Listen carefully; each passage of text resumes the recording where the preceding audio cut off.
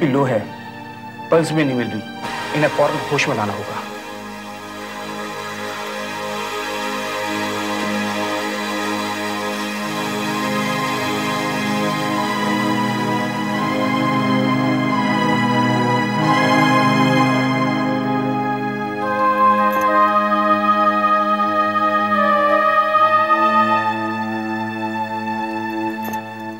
Doctor nasal drop का कोई फ़ायदा नहीं है। ब्लड जमने की वजह से इतना पोर्शन रेडिश ब्लैक हो गया है। It means it's a known fracture nasal drop से भी पेशेंट कॉन्शियस नहीं हो रहा। पल्स भी नहीं मिल रही। बीपी लो है। फ्रैक्चर है। It's a very critical condition doctor Mathur को फ़ौरन बुलाना होगा। डॉक्टर माथुर को मैंने ऑलरेडी फ़ोन किया है। वो अभी आता ही होगा। उन्हें फिर से फ़ोन करो। उनसे कहो patient is not responding to any medical help okay doctor sister Sameer कैसा है? आप बैठिएगा प्लीज़ मतलब आप बताना नहीं चाहती क्या? साइलेंस प्लीज़ डॉक्टर डॉक्टर मेरा बेटा कैसा है? ठीक तो हो जाएगा ना? आप बोलते क्यों नहीं? मैं देखना चाहती हूँ मेरे बच्चे को। ठहरिए ठहरिए। देखिए अभी आप लोग अंदर नहीं जा सकते। तो फिर आप कहाँ जा रहे हैं उसे छोड़कर? हमने अपनी तरफ़ से पूरी कोशिश की मगर मगर क्या? मगर क्या? न्यूरो सर्जन डॉक्टर माथुरी अब इस केस को हैंडल कर सकते हैं। अरे तो कहाँ है? वो बुलाइए उन्हें। सिस्टर गई तो है उन्हें दोबारा फ़ोन करने के लिए। दोबारा फ़ोन करने के लिए? ये क्या मज़ाक हो रहा है? आप कहते हैं कि ये केस आपके बस का है नहीं और जो केस हैंडल कर सकते हैं वो डॉक्टर है नहीं। कमाल करते हैं। मेरे बच्चों को कुछ हो जाएगा इसकी परवाही नहीं है आपको हैं? कैसे डॉक्टर हैं आप? कैसा अस्पताल है ये? डॉक्टर साहब इतना बता दीजिए मेरा बेटा ठीक तो हो जाएगा ना? देखिए जब तक डॉक्टर माथुर एग्जामिन नहीं कर लेते कुछ नहीं कहा जा सकता। आप डॉक्टर हैं या कसाई? ऐसे बात की जाती है। संभलो क्या संभलो मैं अभी सरफराज को फ़ोन करता हूँ। हमें ही कुछ करना पड़ेगा। मैंने आपसे पहले ही कहा था आप सरफराज भाई को बुला लीजिए। मैं भी फ़ोन करता हूँ उसे मैं बेटा अम्मी का ख्याल रखो मैं भी फ़ोन करके आया खुदा जरा सी देर में क्या से क्या हो गया?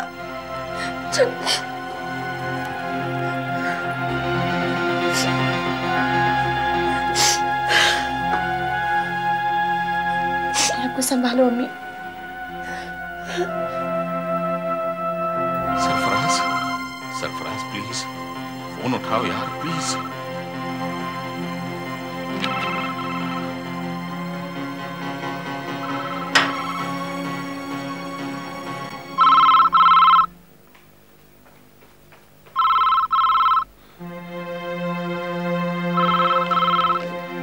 रात गए, किसका फ़ोन हो सकता है?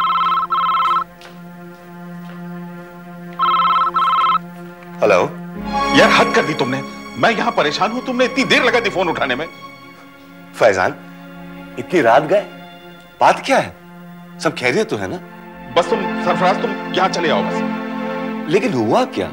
बस तुम इसी वक्त सिटी हॉस्पिटल चले आओ। लेकिन फैजान इतनी रात गए तुम सिटी हॉस्पिटल में कर क्या रहे हो? भाई समीर को एडमिट किया है यहाँ। समीर को? क्या हुआ उसे? खुदा जाने कौन सी बला पड़ी हमारे गले। यहाँ सीनियर डॉक्टर्स तक का पता नहीं। समीर से एक मिनट मिलने की इजाज़त तक नहीं दी जा रही। मेरी तो समझ में नहीं आ रहा सरफराज कि मैं क्या करूँ। और उधर गुल्लार है कि बस रोए जा रही है। ऐसे में तुम ही आकर संभाल सकते हो। तुम्हारी बहुत ज़रूरत है। ठीक है मैं आ रहा हूँ लेकिन यह तो बता दो कि हुआ क्या समीर को। तुम यहाँ आ जाओ सब पता चल जाए। मैं आ रहा हूँ।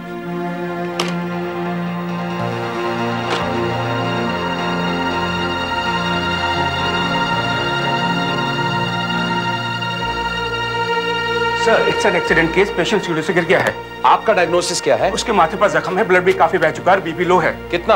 80 50 पल्स भी नहीं मिल रही और वो बेहोश है sir. Okay let's examine the patient doctor साहब मैं अपने बेटे को देखना चाहती हूँ एक नज़र। पर कोई देखने नहीं दे रहा। आप देखने दे बस एक नज़र। आप पेशेंट की? मैं माँ हूँ उसकी। देखिए मुझे सबसे पहले पेशेंट को एग्जामिन कर लेने दीजिए प्लीज़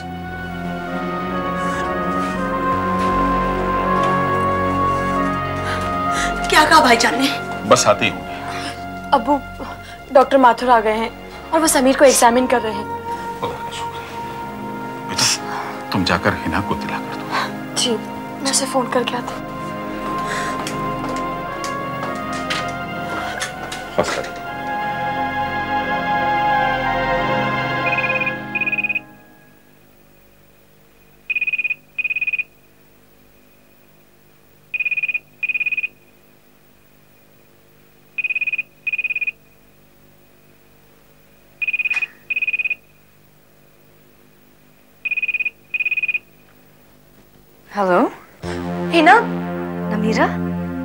इतनी रात गए? बात ही कुछ ऐसी है। क्या बात है?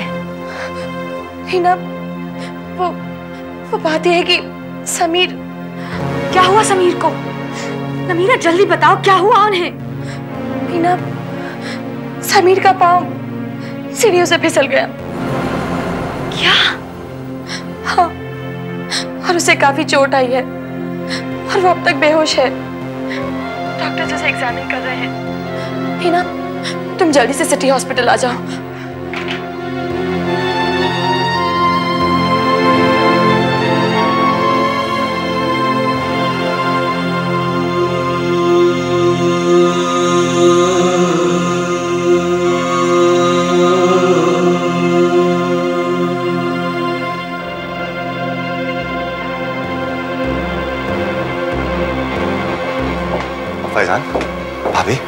आप बैठिए बैठिए सर क्या हुआ समीर घर पे सीढ़ियों से गिर गया बहुत चोट आई सर में डॉक्टर माथुर आ गए हैं उसको एग्जामिन कर रहे हैं He's a good doctor.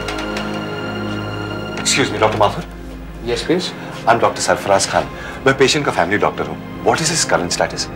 Doctor Khan हमने पेशेंट को होश में लाने की पूरी कोशिश कर डाली but he is not responding to any medical treatment I think we need to go for a CT scan immediately is it so serious doctor देखिए पेशेंट के सर पे चोट लगी है। मेरे ख्याल से इंटरनल ब्लीडिंग है। स्कैनिंग ज़रूरी है। Let's do the needful doctor okay मेरा बेटा बच जाएगा ना?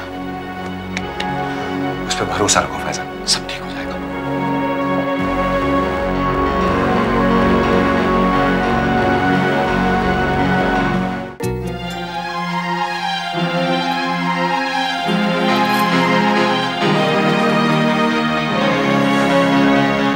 ठीक बेटी तुम क्या गई घर से?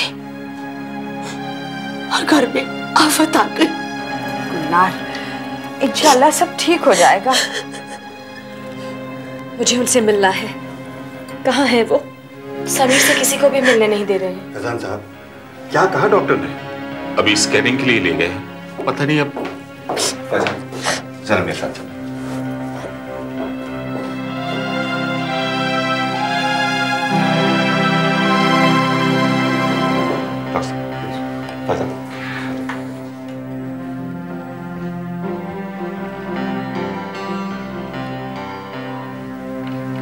क्या बात है डॉक्टर साहब?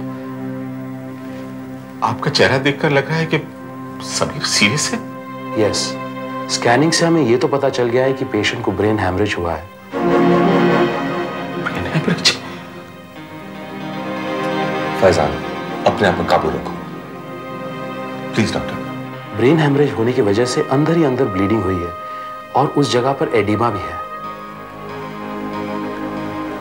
एडिमा एडिमा मतलब जहाँ नस फटी है वहाँ खून बहने के बजाय जम गया है और उसकी वजह से सूजन हो गई है। इसका भी इलाज मुमकिन है। हौसला रखो। Yes doctor The edema is capturing the sensory area and damaging it. We need to go in for an operation quickly. Operation ठीक है डॉक्टर साहब। मेरे बच्चे की जान बचाने के लिए जो भी मुमकिन हो कीजिए। लेकिन ठीक तो हो जाएगा ना? मैं आपको कोई झूठी तसल्ली नहीं देना चाहता। हम जो ऑपरेशन करने जा रहे हैं, उसे बोर होल कहते हैं। It's an hour long operation to release the internal pressure of the edema bleeding भी बहुत हुई है। उसके लिए ब्लड का इंतज़ाम करना पड़ेगा। और एक बात पेशेंट के राइट लेग में फ्रैक्चर है। उसके लिए ऑर्थोपेडिक डिपार्टमेंट से डॉक्टर विश्वास को बुलाना पड़ेगा। अक्सर जो भी कर रहा हूँ जल्दी कीजिए। मुझे मेरा बच्चा वापस चाहिए। देखिए हम अपनी तरफ़ से पूरी कोशिश करेंगे मगर पेशेंट की जो कंडीशन है उसे देखते हुए मैं साफ़ कहना चाहता हूँ कि survival chances are 50 percent only doctor आप तदबीर करिए। हम दुआ करेंगे।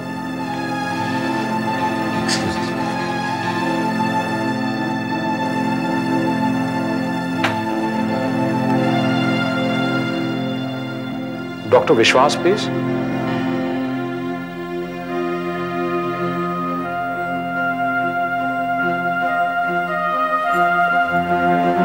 क्या कहा डॉक्टर ने?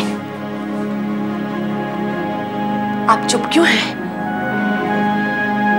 भाई साहब भाई साहब आप ही बताइए। मेरा समीर ठीक तो हो जाएगा ना? भाभी सब कुछ ठीक हो जाएगा। आप क्यों ऊपर वाले के जात पे यकीन नहीं करते? आप हमें झूठा दिलासा तो नहीं दे रहे ना? सच सच बताइए डॉक्टर ने क्या कहा? आपकी खामोशी का क्या मतलब है? क्या क्या? स- समीर साहब आप बताते क्यों नहीं कि बात क्या है? खुदा ना करे कोई ऐसी बात हो जो आप हमें बताना नहीं चाहते। लेकिन आपके चुप रहने से भी हमें हमें चैन नहीं पड़ेगा। खुदा के वास्ते बताइए सच क्या है? सरफराज तुम ही बताओ मेरी तो जबान साथ नहीं दे रही। समीर का ऑपरेशन करना होगा। और जब तक ऑपरेशन नहीं हो जाता तब तक डॉक्टर भी बसाओ कुछ नहीं कह सकते। फ़िलहाल समीर ज़िंदगी और मौत के बीच है। क्या?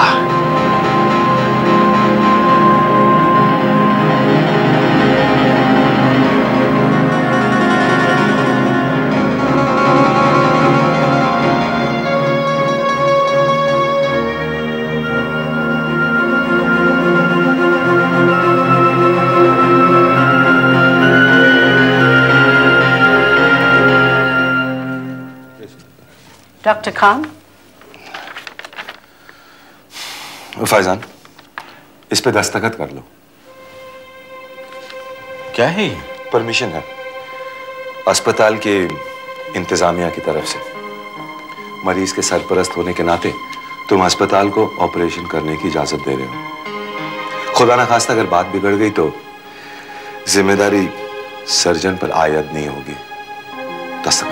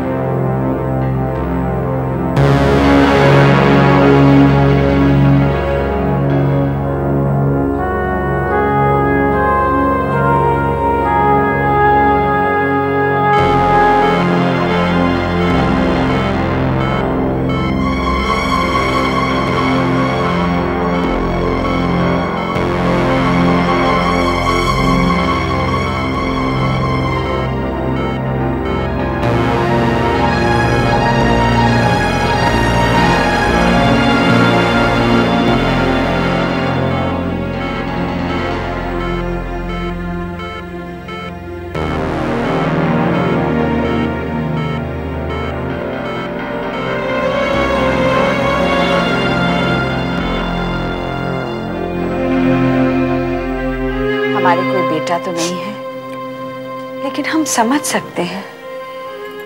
एक जवान बेटे का गम तुम्हें अंदर ही अंदर खाए जा रहा है। मेरी मानो गुलनार, कुछ बातें करो। तुम्हारा जी हल्का हो जाएगा।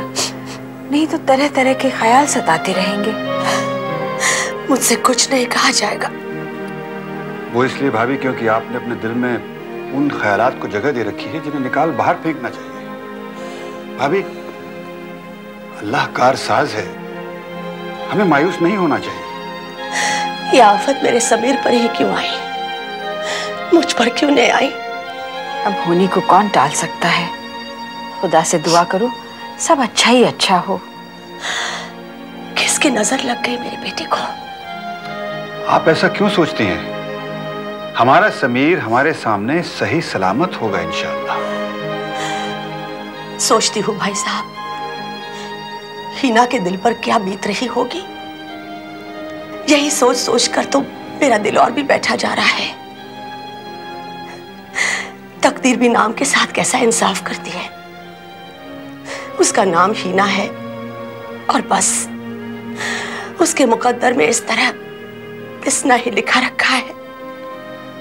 जो पिसता है, वो मजलूम होता है।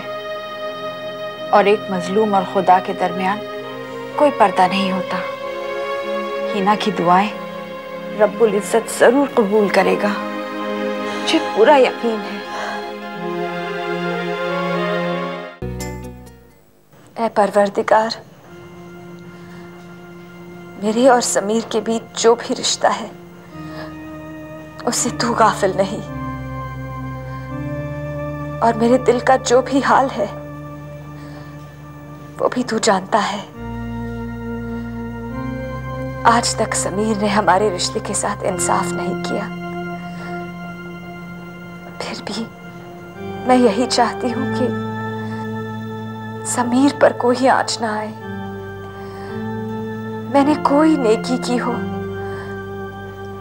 और वो तेरी बारगाह में कबूल हुई हो। तो ऐ परवरदिगार,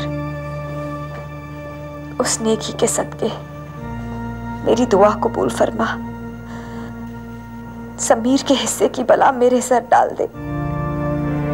मैं खुशी खुशी तेरा शुक्रिया अदा करते हुए सह जाऊँगी। समीर ने जो मेरा दिल दुखाया है, उसके लिए मैं उन्हें माफ़ करती हूँ। तू भी उनसे राज़ी हो जाए, अल्लाह। उन्हें माफ़ कर दे। उन्हें ज़िंदगी बख्श दे। मैं समीर की ज़िंदगी के अलावा कुछ नहीं मांगती। अपने हबीब के सदके, मेरी दुआ कबूल फरमा।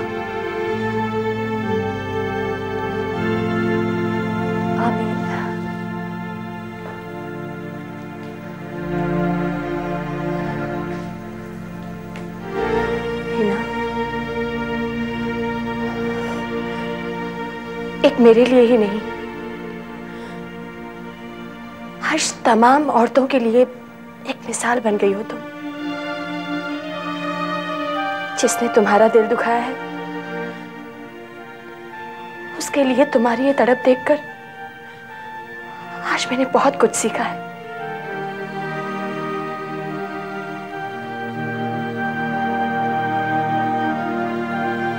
लेकिन मुझे कुछ नहीं मिला। मैंने आज तक सिर्फ़ खोया है। कुछ पाया नहीं।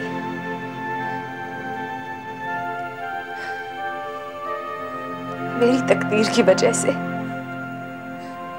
समीर को कुछ नहीं होना चाहिए। नहीं। तुम्हें अपनी तकदीर को नहीं कोसना चाहिए। अगर समीर ने तुम्हारी कदर नहीं की तो मैं समझती हूँ। इसमें समीर की बदनसीबी है। बदनसीब तो मैं हूँ। कोई मेरे दिल से पूछे। मुझसे बड़ा बदनसीब और कोई नहीं।